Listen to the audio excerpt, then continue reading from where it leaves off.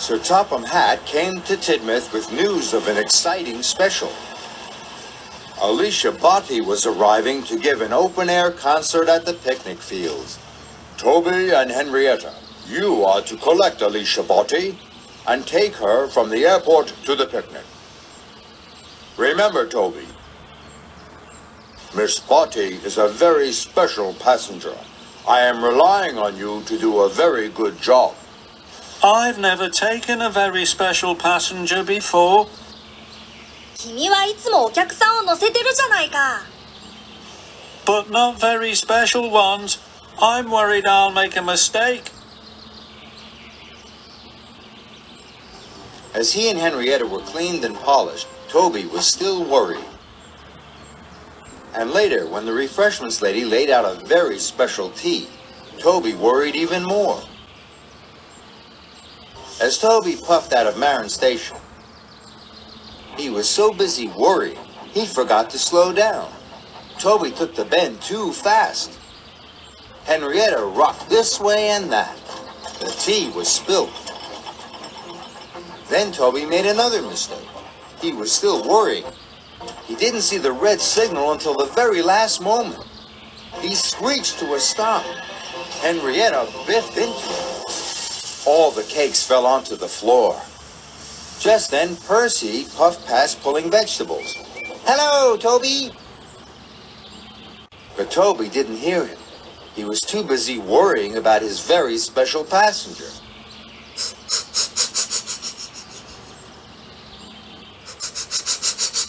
Toby puffed under a bridge. The children waved, but Toby didn't see them.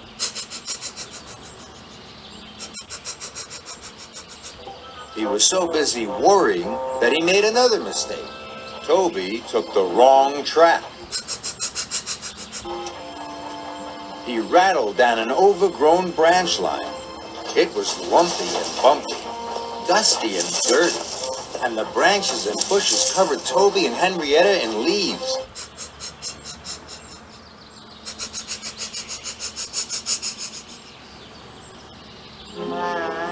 Thomas puffed by pulling freight cars of tomatoes. トビー、一体何があったんだ But Toby didn't hear him. He was still too busy worrying about his very special passenger. Toby picked up speed. He was so busy worrying he didn't notice the farmer waving from the fields. And he didn't notice the dip in the track and the big mud puddle. Slow down, cried Elizabeth. But it was too late. Toby splashed through the puddle. Henrietta was covered from bumper to buffer in dark brown mud.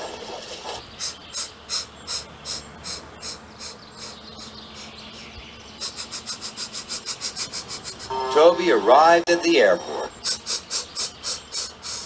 When Alicia Botti saw Toby and Henrietta, she was very upset. I can't arrive at the picnic on such a dirty train. What would my public say? Toby was so worried he didn't know what to do. If Alicia Botti wouldn't get into Henrietta, Toby couldn't take her to the picnic, and the concert would be canceled. Alicia saw that Toby was very worried. Don't worry. A good clean is all you need. So at last, Toby stopped worrying. Alicia carefully boarded Henrietta, and Toby steamed away to the washdown.